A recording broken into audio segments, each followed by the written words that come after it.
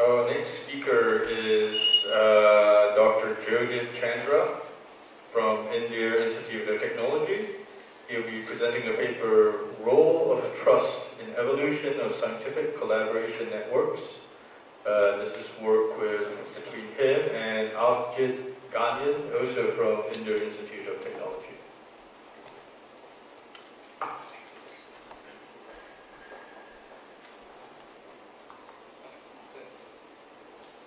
Hello everybody. So uh,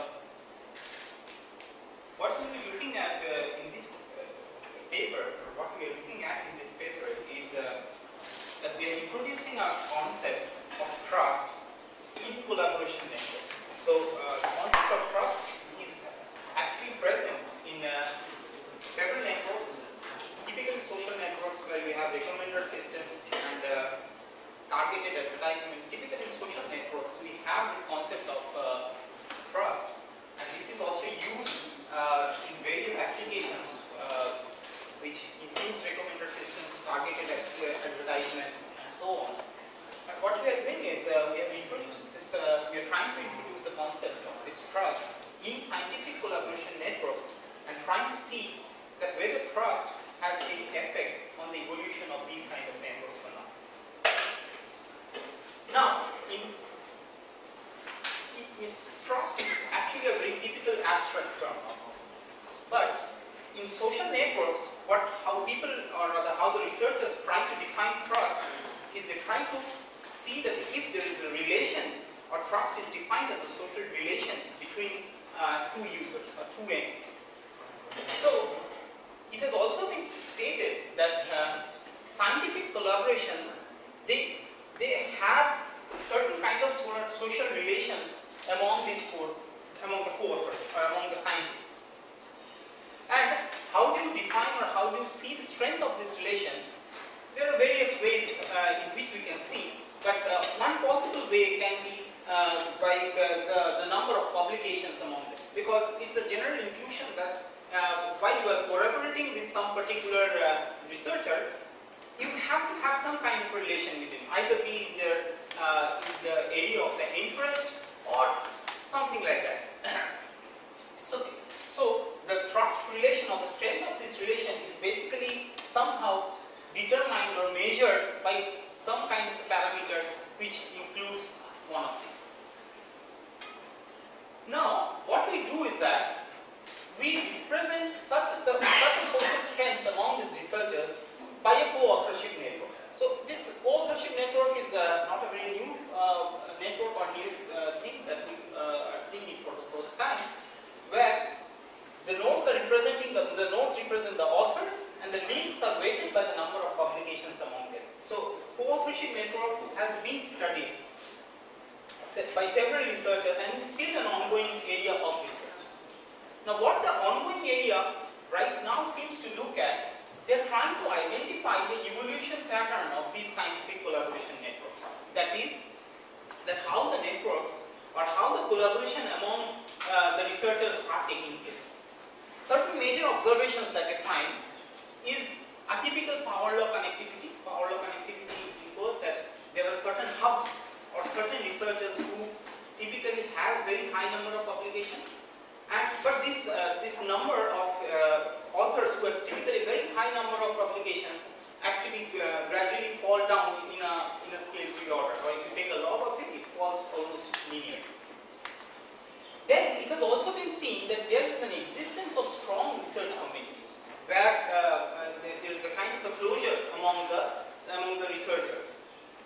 And there is also been seen that there is a geographical dependence of the research communities. So people in China, they have a huge dependence, uh, or rather they form a kind of a group.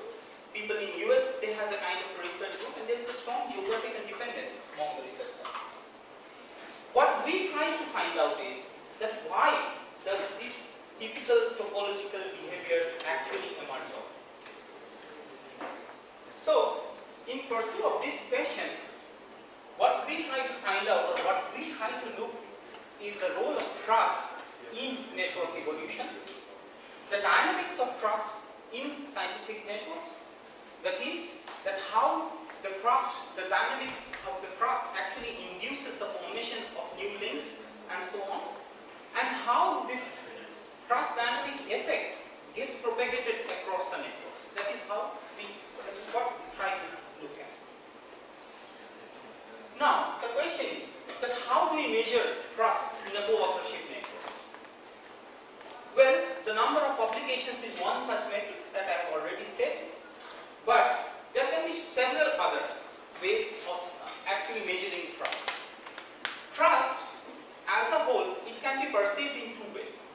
One can have a concept of a node trust. For example, an, author who is universally recognized as very like or uh, maybe Bose in India. Where, if you even don't work in that area, you still know that if you get a paper of him, he's probably one of the best authors, so there is a high uh, global trust for that particular author. We term such kind of trust as a node trust. So it's a trust where it's a global property where any of the other researchers actually have some faith on that particular researcher, whether he has worked with him or not. Then we introduce the concept of a personalized notion of trust. So for an example, if researcher A works with researcher B and has produced several publications, obviously there is a presence of mutual trust among these two authors because they are actually related by some when they are producing high number of publications. So if A and B has produced high number of publications, much higher as compared to A and C, we'll say that the strength of the relation between A and B is much higher as compared to A and C. We define this concept as a link trust.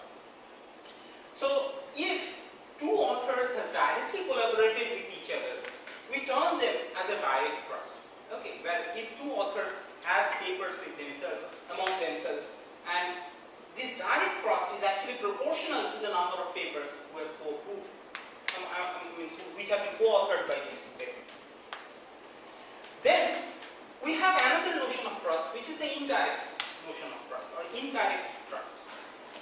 Indirect trust is basically a trust between two authors which indicates that whether there is a potentiality of collaboration among them. So this typically arises out from the concept of transitivity. So I'll just have say uh, like this, that if A and B have a lot of collaborations and B and C had also a lot of collaborations, then there is a mutual trust that can have between A and C. There is a potentiality that at some point of time they will also start collaborating. So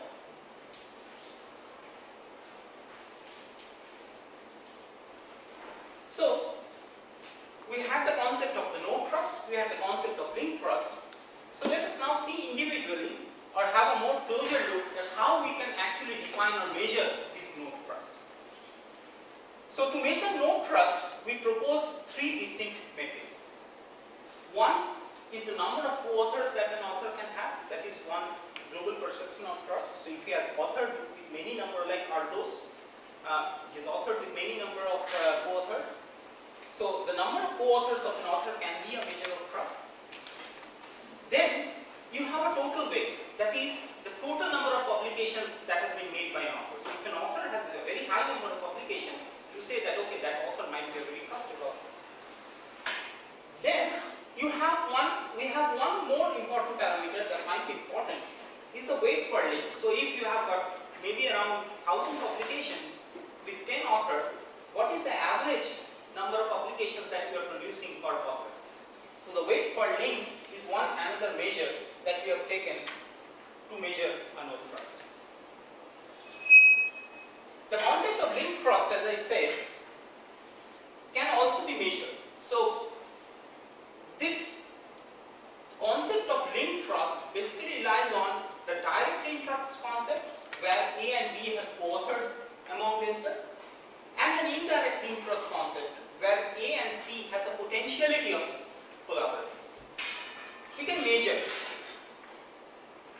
There are several there are several studies also. You can we have one older paper there is one paper by Walter who measured such kind of indirect trust in recommender systems.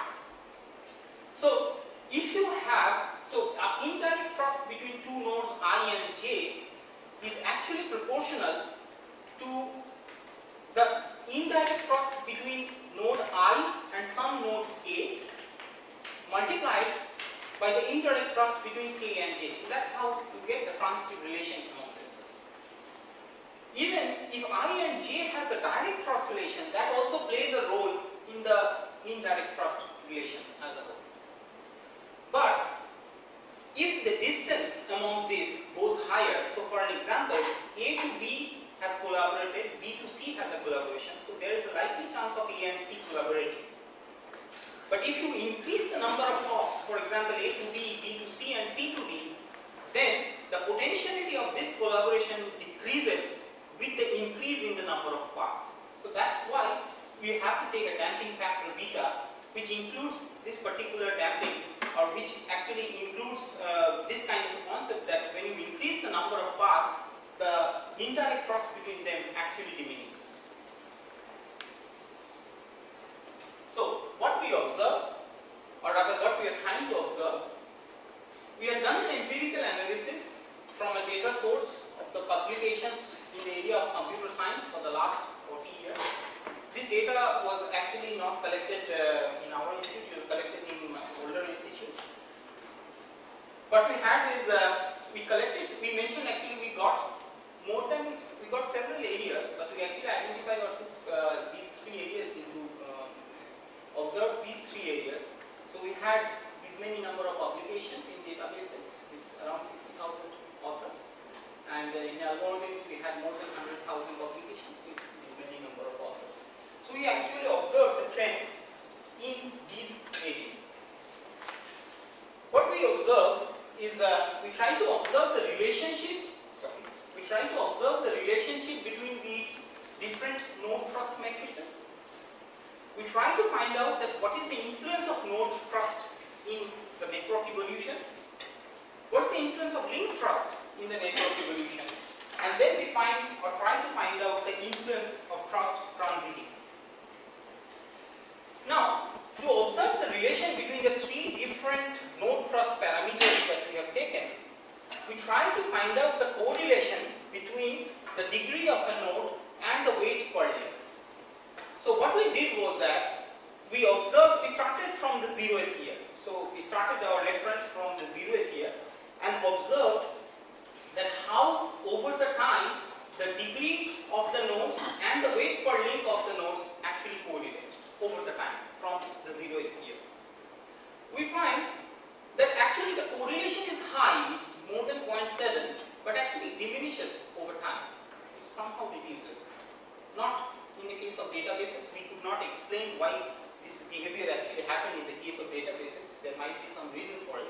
But what we find is that, that there is a very high correlation between the total, the degree of a node and the total number of publications uh, that author produces.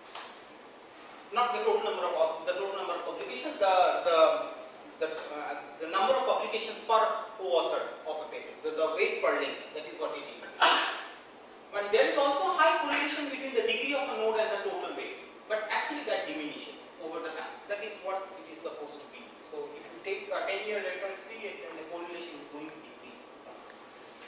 But still, it's high.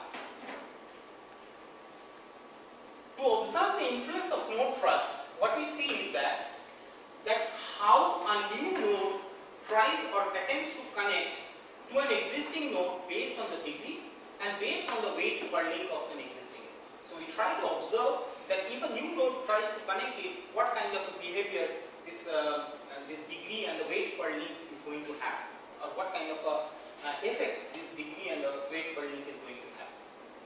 What we did was, we collected the number of nodes that gets attached to nodes with trust value m. Trust basically means either we take the degree or we take the weight per link. We, we, we take both. So, we divide by, so we get, this attachment probability by the total number of nodes that gets attached to trust value and the total number of new links or total number of attachments that actually form. We get a behavior something like this. So, it's, it's a generic curve. You can see this, there is a similarity in all the three curves almost. Now, when you try to model this, this you will find that so this particularly uh, the this straight line is basically the empirical one and this dashed line is our model. So what we find was that this attachment is somehow following a preferential law. So if the probability, so it is basically proportional to the degree of the So if a node has high degree, if he has high number of co-authors, then there is a very high likely chance that a new author is going to come and actually work with him.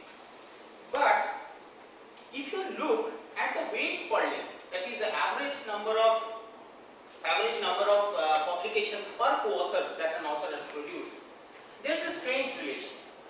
Here, it is not purely preferential. What we find is that, that when we try to model it, there is a dampening factor that gets incorporated.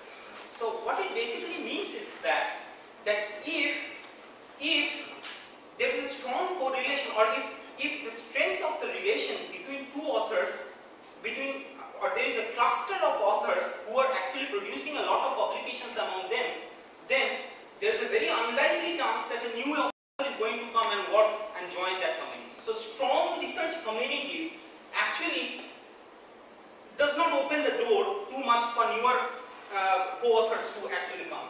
So that, that will have an effect when you see the overall picture of how the network is actually evolving. To see the strength or to see the link trust, what we find is that we find, we for the case of link trust, we observe two things. One, we observe that how the link trust is affecting further collaboration between two authors. For an example, so if author A and B uh, has already collaborated, so and if there is a strength which is very high, then how that effect is actually getting propagated in further collaboration. So if there is a collaboration between two authors, then how that collaboration is growing, on what factors will it grow? We also see the simultaneous, we also see one another phenomena where if there is a high strength between two authors, that is more number, high number of publications, what is the probability that a new author comes and simultaneously work with both of them? So that is how the effect of link trust is going to play out. Again, we observed similar behavior in both these cases. But typically what we observe over here is that, that when two authors has a high strength among themselves, that continues over a period of time, that lingers on. It's not that a high publication finishes in two years or three years. That actually lingers. So if there is a high publication, it's more likely that they are going to continue. Finally, for the case of trust transitivity, what we see was that, that if, how the transitivity plays a role in this particular case. What we observed is we try to find out the potential indirect trust between two authors. So that is how the transitive relation gets propagated. And we observe that what is the rate of conversion depending upon the indirect trust. So if an indirect trust is high, what is the potential rate of conversion?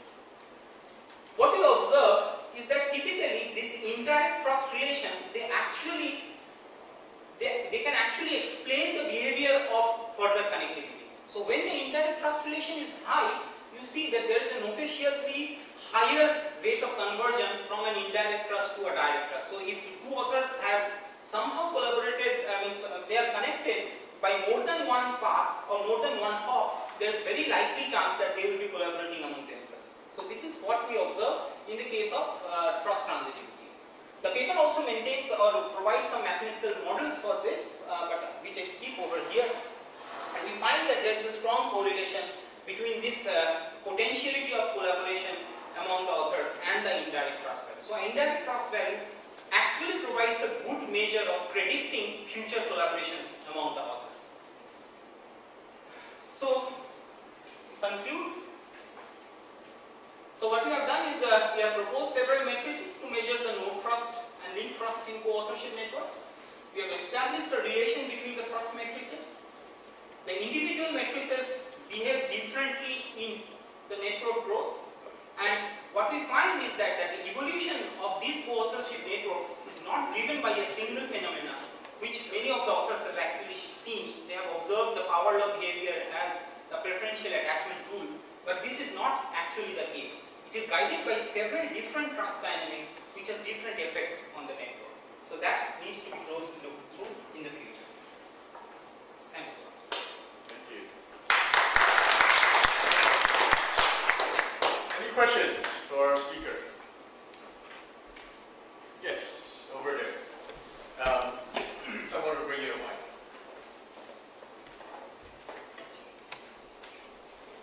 Uh, Thanks. Uh, My question is, my question is, uh, what can Extract for your, your research? How can we uh, conduct a successful research uh, by your research, your research result?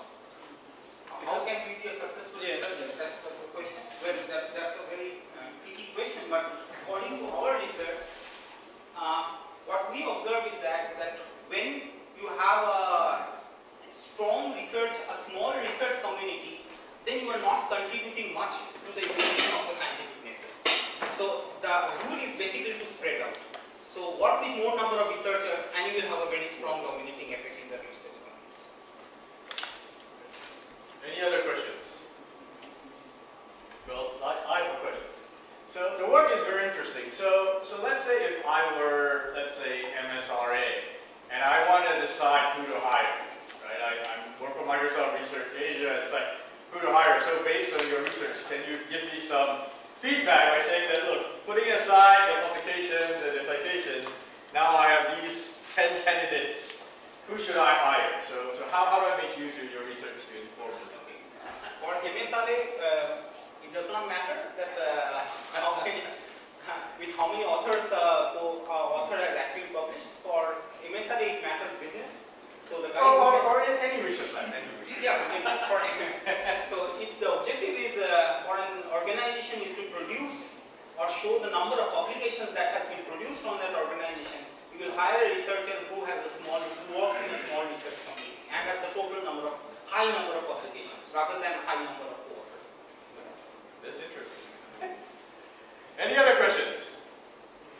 If not, let us take, oh, I'm sorry. Go ahead. Um, from this then, can you create a, uh,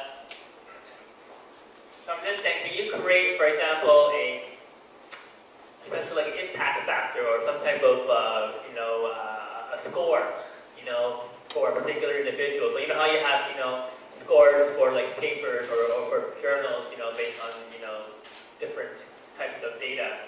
Could you create one, you know, same thing here as well, that you, you propose metrics, right, but to link us, but what about combining together to form, you know, a particular, you know, score? Have you thought about it, or that work? Exactly, that's the, that's the thing that we are looking at right now. Yes, that's what we are looking at. So how can trust be a measure or a matrix of an importance of an author? That's the thing. So we are looking from the perspective of centrality of trust measures Right. and some other factors we're looking at. So probably that would be our next paper paper. You'll. See you again next year. Yeah, thanks.